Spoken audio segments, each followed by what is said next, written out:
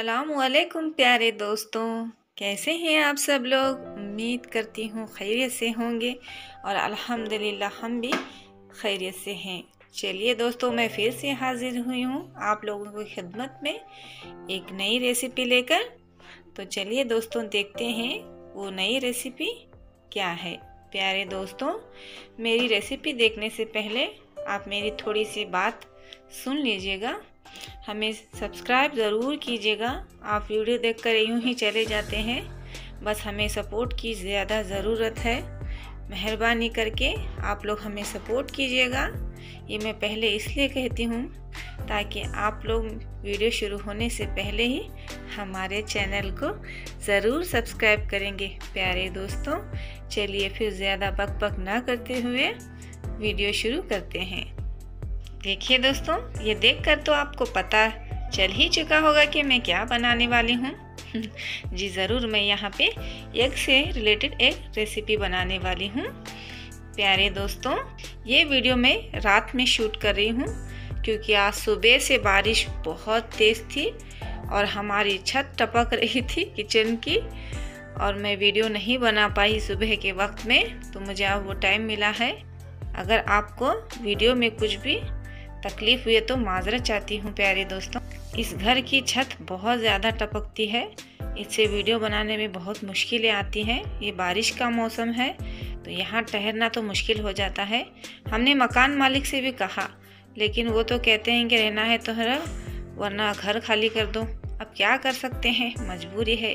तो चलिए, हम लोग ज़्यादा अपनी परेशानियाँ बताने से पहले रेसिपी शुरू कर देते हैं। अब हमें अंडों को उबाल लेना है अच्छे से। उसके बाद हम आगे का प्रोसेस ये दोस्तों स्टार्ट करें हमारे अंडे उबल चुके हैं। अब ये उबले कैसे हैं ये कैसे पता करना है? अंडों पर चीर आ जाए तो समझ लीजिएगा कि आपके अंडे उबल चुके हैं। प्यारे दोस्तों जब ये हाफ़ बॉयल होने लगे तो एक चम्मच इसमें नमक ज़रूर डाल दें ताकि कुछ लोगों के क्या होते हैं जब वो अंडे उबलने के लिए रख देते हैं तो वो फट जाते हैं दोस्तों। इसीलिए वो फटे ना। हमें इसमें एक चम्मच नमक ऐड कर देना है। देखिए, मेरा एक भी अंडा, जो मैंने अंडे यहाँ उबालने के लिए रखे थे, वो फटे नहीं हैं। ऐसे उबले हुए हैं। चलिए दोस्तों, बढ़ते हैं आगे। देखिए, हमने यहाँ पे क्या क्या ले लिया है। हमें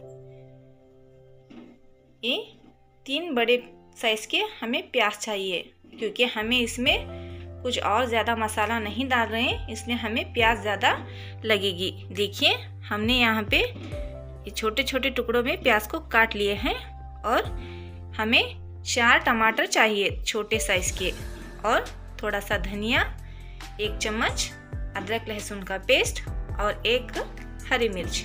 चलिए अब इसमें क्या देख लेते हैं। मैंने इस जो चॉपर होता है, इससे मैंने सारा कुछ चॉप किया है। अगर आपके पास चॉपर ना हो तो आप लोग चाकू से भी छोटे छोटे टुकड़े कर सकते हैं दोस्तों। ये देखिए, हमने लिया है एक चम्मच नमक, एक चम्मच लाल मिर्च और एक चम्मच हल्दी। और हमने यहाँ पे थोड़ा सा ये मसाला ले लिया है। अगर आपके पास यग मसाला हो तो वो भी ऐड कर सकते हैं बट मैंने यहाँ पे मीट मटन मसाला ले लिया है, क्योंकि इससे टेस्ट में बहुत ज़्यादा इजाफा होगा दोस्तों। ट्राई ज़रूर कीजिएगा।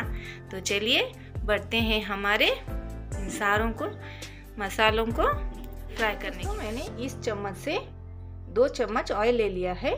अब हम इसमें प्याज फ्राई कर लेंगे।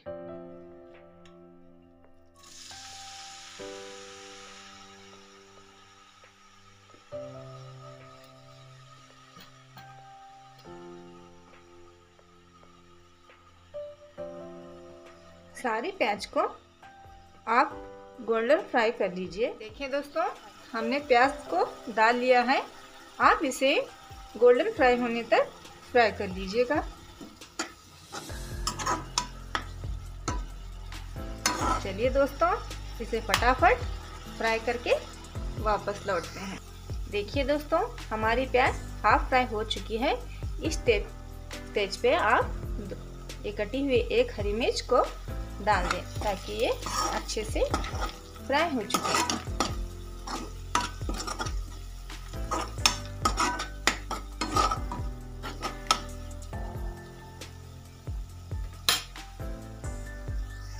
देखिए दोस्तों, मैंने यहाँ पर एक चम्मच सूखा मसाला भी ले लिया है, जो गरम पाउडर कहते हैं। अगर ये ऑप्शनल है, अगर ये आपके पास ना हो तो आप इसी से भी काम चला सकते हैं दोस्तों। ये भी हमारे अंडा में बहुत स्वाद देगा। देखिए दोस्तों, अब हमारी प्याज फ्राई हो चुकी है। अब हम अदरक लहसुन का पेस्ट डाल देते हैं। मिक्स कीजिए।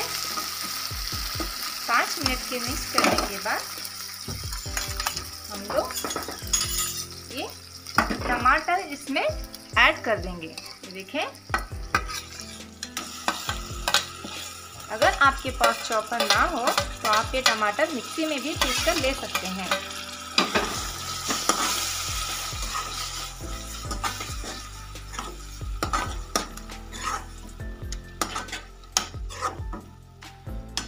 अब इस स्टेज पर हमें ये एक चम्मच नमक डाल देना है। मैं नमक टमाटर में इसलिए डालती हूँ ताकि टमाटर का टेस्ट दुगना हो जाता है और हमारे टमाटर जल्दी से पक भी जाते हैं। आपकी गैस भी नहीं वेस्ट होगी दोस्तों। कोशिश ट्राई ज़रूर कीजिएगा। देखिए, अब हम इसे ढक कर तेल छूटने तक इसे पका लेते हैं। चलिए दोस्तों, इसे पका लेंगे।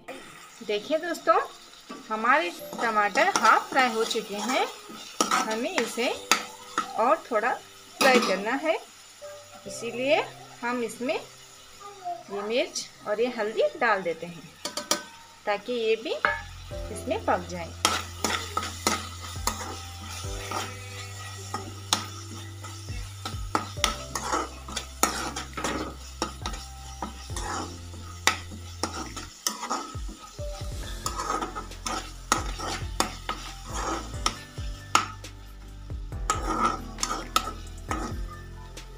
इसमें ज़्यादा तेल का यूज़ नहीं किया है, क्योंकि ये थोड़ा सा हेल्दी बन सके। देखिए, हमने यहाँ पे थोड़ा सा गरम पाउडर डाल दिया है। बाद के लिए थोड़ा बचा लेंगे।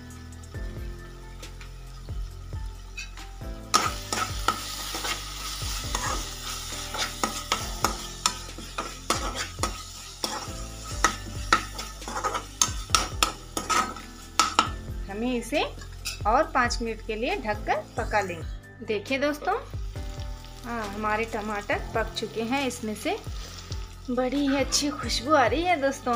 आप लोग इसे बनाकर ज़रूर ट्राई कीजिएगा। आप, आपके घर वाले, आपके मर्द हजरात खाएँगे तो खुश हो जाएँगे। स्टेज पर हम इसमें धनिया डाल देते हैं। थोड़ा धनिया हम बचा कर रख लेते हैं ताकि हम इसे बाद में डाल सकें।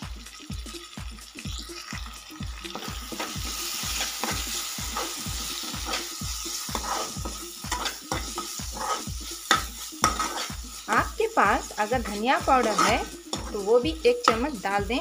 लेकिन मैं यहाँ पर धनिया पाउडर यूज़ नहीं कर रही हूँ, क्योंकि मेरी मिर्ची में ये धनिया पाउडर सब कुछ मिला हुआ है। जैसे कि मैंने पिछले वीडियो में आपको उसकी जानकारी दी थी, मिली हुई मिर्ची के बारे में। अगर आपने वो वीडियो मेरा नहीं देखा हो तो नीचे जाकर आप देख सकते हैं। नीचे जो वीडियोस मैंने अपलोड किए हैं, वहाँ जाके ज़रूर चेकआउट कर लें। देखिए दोस्तों हमारे मसाले अच्छे से भून चुके हैं।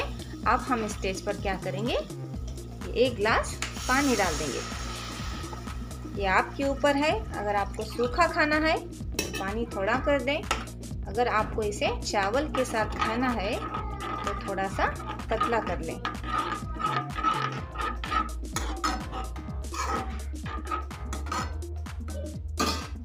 देखिए दोस्तों, मैं और थोड़ा पानी इसमें ऐड कर रही हूँ। इसे मैंने डेढ़ कप पानी ले लिया है। इसे उबाल आने तक हमें पका लेना है। चलिए बढ़ते हैं अगले प्रोसेस की तरफ़। जब तक हमारी कड़ी बन रही है, मसाला, अंडा मसाला बन रहा है, हम इसे पहले अंडों को उबाल के छील लें, फिर इस तरह से कट लगा दें ताकि हमारे साले, सारे मसाले इसमें ऐड हो जाए।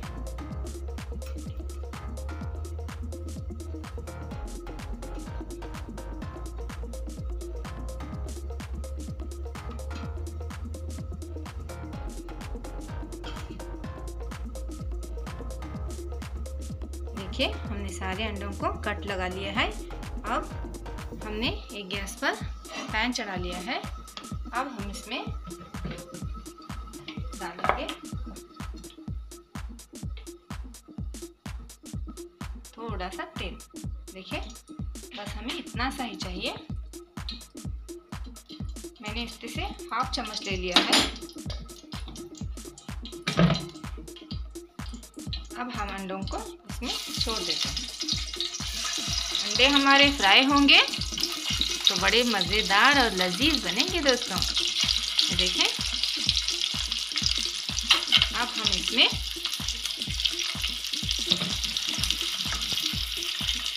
चुटकी भर नमक डाल दें। नमक डाल दें। बस थोड़ी सी मिर्च डाल दें। हमें ज़्यादा नहीं चाहिए, क्योंकि हमारे अंडा मसाले में काफ़ी सारी मिर्ची है दोस्तों। थोड़ी सी हल्दी डाल दें। ये थोड़ा सा मटन मसाला इसमें ऐड कर दें। ये देखें थोड़ा सा धनिया डाल दें। करेंगे अच्छी तरह से। अंडों को हमें अच्छी तरह से फ्राई कर लेना है, ताकि इसमें स्वाद बना रहे दोस्तों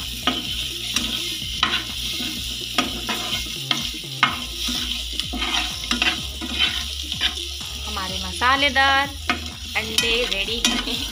चलिए दोस्तों, ये पकने के बाद आप भी हमारे दस्तरखान में ज़रूर शिरकत कीजिएगा दोस्तों। देखिए दोस्तों, हमारे अंडे पूरी तरह से फ्राई हो चुके हैं। स्टेज पर हम इसे बंद कर देते हैं। देखिए दोस्तों बड़ी अच्छी खुशबू आ रही है हमारे अंडा मसाला बनकर रेडी है। अब हम स्टेज पर क्या करेंगे? ये जो हमने मटन मसाला लिया था, ये डाल देंगे। और हमने थोड़ा जो गरम मसाला बचा के रखा था, वो डाल देंगे। मिक्स करेंगे। देखिए दोस्तों, अब हम ये इसमें अंडे ऐड कर देंगे।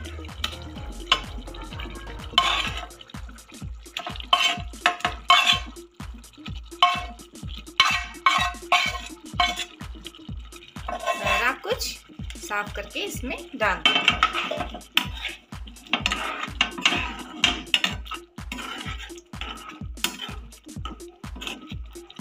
प्यारे दोस्तों, और पाँच मिनट तक हम इसे ढककर पका लेते हैं।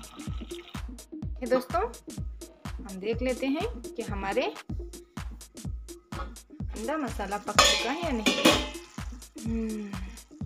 माशाल्लाह, ये बहुत अच्छे से पक चुका है। चलिए इसे हम लोग इसकी प्लेटिंग शुरू कर लेते हैं।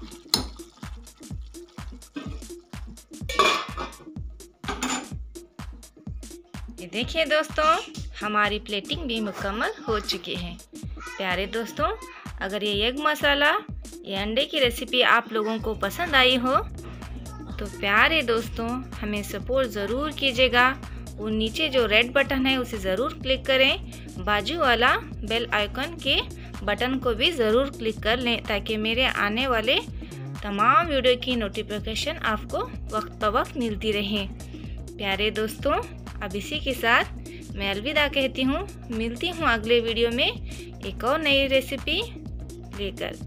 तब तक के लिए अल्लाह हाफिज़।